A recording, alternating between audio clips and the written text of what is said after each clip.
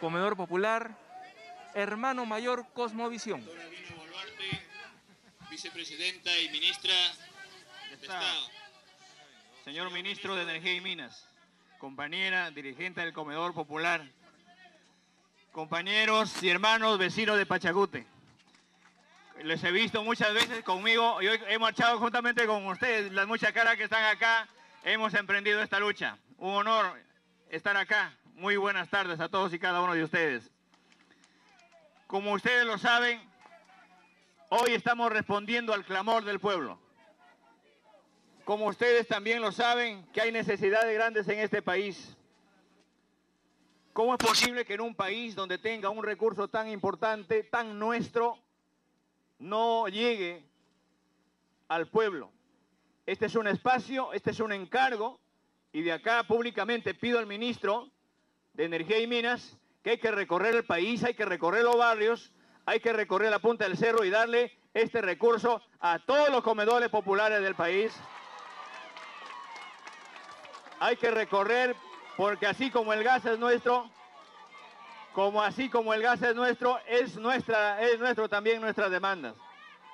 En la mañana de hoy hemos estado haciendo llegar también este bono Yanapa y Perú. Me imagino que ustedes también ya han recibido. Y ya hace rato tenemos ya los tablets, querido maestro, ya lo tenemos listo. Como hemos luchado con usted en la calle pidiendo tablet para los niños, ya hay tablet. No vamos a dejar que ningún niño, este año, ningún niño se va a quedar sin su tablet. Todos los niños tienen que tener esas herramientas. Hemos instruido al ministro de Educación para que haga ya un mapa real, un mapa real de la infraestructura educativa. Y también pedimos a los alcaldes y a los barrios para que también no solamente hay que tener gas inyectado a un comedor popular, sino también directamente a los comedores de las instituciones educativas.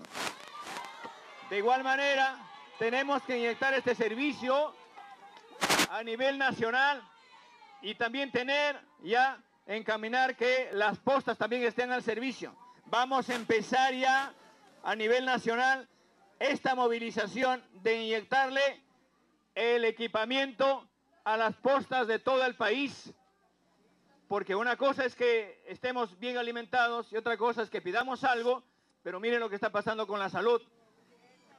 Tenemos que garantizar. Nosotros, asumiendo el mandato, dijimos hay que vacunar al país. ¿Ustedes se han vacunado o no se han vacunado? Muy bien, felicitaciones. Eso es el país, el Perú responsable. Eso es nuestra patria responsablemente que asumimos esta, esta tarea. Y los agradezco por haber asumido porque ese fue nuestro primer compromiso. Hoy es una movilización nacional, así como se han vacunado. Que ese grito que sí nos hemos vacunado, ahora hay un grito de, de retornar a las aulas con nuestros hijos. Pero estos hijos no pueden ir al aula con las manos vacías, con el estómago vacío. Y no podemos llevarlo a nuestros hijos cuando a la vuelta de la esquina existe un delincuente. Vamos a luchar para que el barrio esté seguro. Vamos a luchar para que el pueblo esté seguro. Yo sé que acá hay hombres valientes y mujeres valientes para organizarnos y la lucha contra la delincuencia tiene que ser en conjunto. Las ollas comunes vamos a fortalecerla. Vamos a, vamos a convocarla y de acá nos vamos a poner de acuerdo con nuestra ministra para no solamente se fortalezca, sino también se crean más ollas comunes para que llegue a los últimos rincones del país. Pero para eso también es necesario lo presupuesto y esperamos que el Congreso de la República también haga el esfuerzo de, de aprobar una ampliación del presupuesto para nuestros hermanos agricultores, para la agricultura a nivel nacional, para que lleguen los alimentos frescos a la olla, para que lleguen los alimentos frescos a nuestra mesa. Queridos compatriotas, no podemos dar marcha atrás con las demandas que exigen este pueblo. Ya nos hemos puesto al frente de este país para que el gas, que es de los peruanos, llegue a todos los rincones de la patria. No podemos dar marcha atrás para que los recibos de la luz, del agua, del teléfono también sean más económicos, se reduzca su costo y eso está en manos del, en manos del Congreso de la República.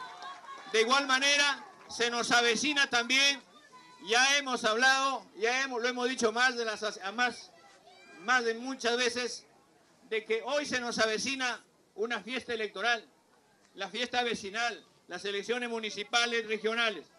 Y hemos presentado al Congreso de la República ese proyecto de ley para que nunca más postulen las personas que tienen problemas de corrupción, para que tengan problemas con la justicia, para que estemos al frente de una autoridad que sí es una persona transparente. En ese marco, desde acá invocamos también para que en el marco de la unidad, el Ejecutivo y el Poder Legislativo, nos pongamos al frente de esta demanda, nos pongamos al frente de lo que exige nuestro, nuestra población. Y es más, vamos a llamar también al alcalde de Pachacute, el alcalde de Ventanilla,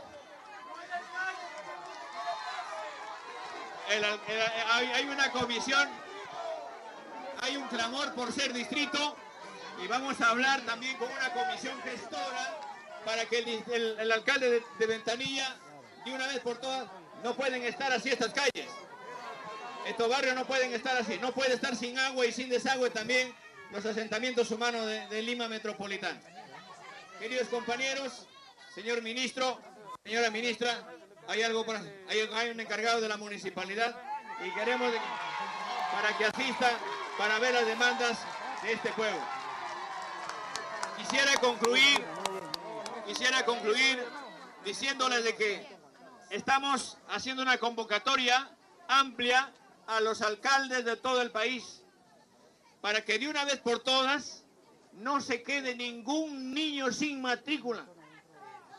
No podemos, no podemos excluir a, los niños. La educación es un derecho. Por eso pedimos a ustedes de que, así como nos metían a la cabeza, que hay niños que se han excluido.